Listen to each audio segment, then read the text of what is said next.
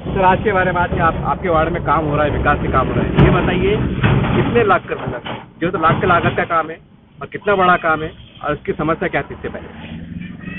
सबसे पहले मैं अल्लाह का शुक्र अदा करता हूँ, अल्हम्दुलिल्लाह। और मैं उसी के साथ मेरा नाम सैयद निसार खादरी है। मैं प्रियदर्शनी इंदिरा नगर वार्ड क्रमांक जो पुराना 111 है, और अभी जो है प्रभाग के अंदर उनचालीस हूँ। यहाँ पर जो है तो बहुत दिनों से कम से कम गुजशत सात से आठ सालों से जो पानी, जो गंदा पानी पीने के लिए आ रहा। और इसकी लाइन भी जो थी, बहुत छोटी थी।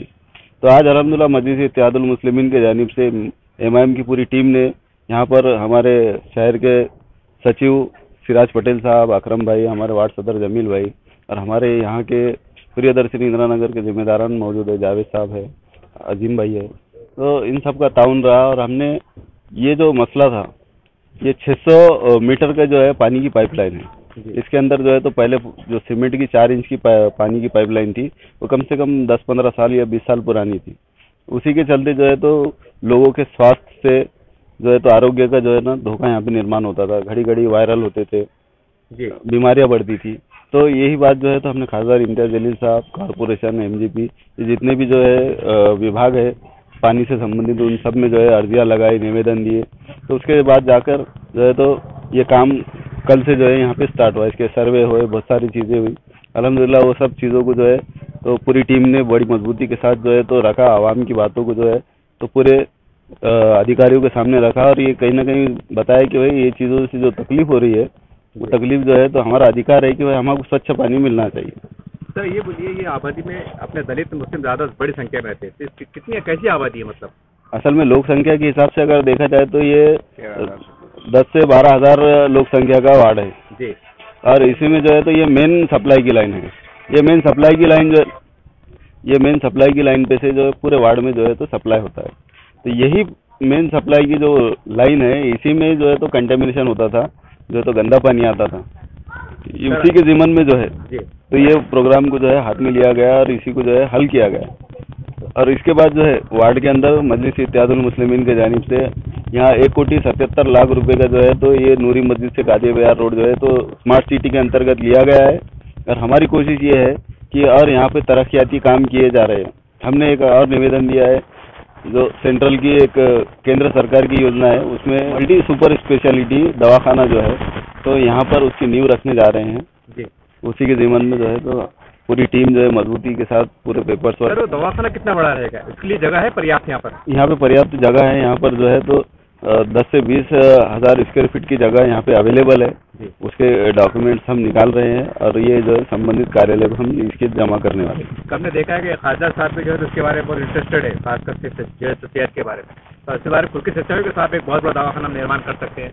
जी हाँ साहब से, असल में साहब के ही आदेश है और उन्हीं के आदेश पे ये काम हो रहा है, क्योंकि आरोग्य विभाग के अंदर जो है तो खासदार इम्तियाज़ जलील साहब ने जिस तरीके से बेबाकी से नुमाइंदगी की है, हाई कोर्ट के अंदर खुद पैरवी की है और पूरे उसके तासुरात जो है, घाटी अस्पताल और तमाम जितने भी अस्पताल है, महाराष्ट्र के अंदर जो भी नौकरियाँ आज भर्ती जो होने जा रही है, वो खासदार इम्तियाज़ जलील साहब की पैरवी का नतीजा है, कहीं ना कहीं हमने ये देखा है कि कोविड के अंदर जिस तरीके से हमको ऑक्सीजन की हमको बेडों की जो ज़रूरत थी वो यहाँ पे फुलफिल नहीं हो कर सके प्रशासन। तो इसी के जिम्मन में जो है खासदार इम्तियाज़ अली साहब ने हाईकोर्ट के अंदर जो है प्यार दाखिल किया और खुद पैरवी कर रहे हैं।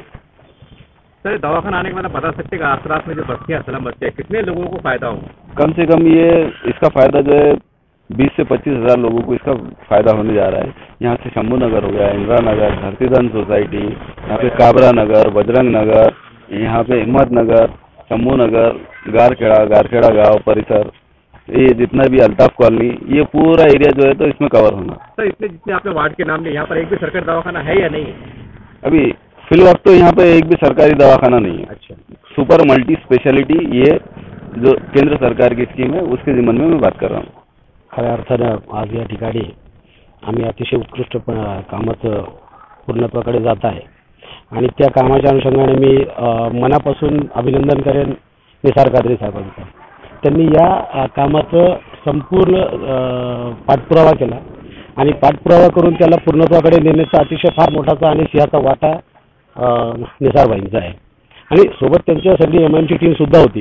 परंतु साहेबांचा बऱ्यापैकी त्याच्यात हातभार लागलेला आहे. प्रश्न दुसरा असा आहे की या ठिकाणी जे काम आम्ही आता हे चालू केले आज कदाचित तो संपेल सुद्धा आज. या कामाच्या संदर्भामध्ये तुम्हाला सांगायचं झालं तर मागच्या वीस पंचवीस वर्षापासून तिथं चारची लाईन टाकलेली होती सिमेंटची. ती मध्यंतरीच्या काळामध्ये ती चोकअप झाली होती. आणि चोकअप होऊन त्याच्यामध्ये त्याच्याच बाजूला म्हणजे त्याला खेटूनच आपलं दैनिकचं गटारात सुद्धा पाईपलाईन जात होती.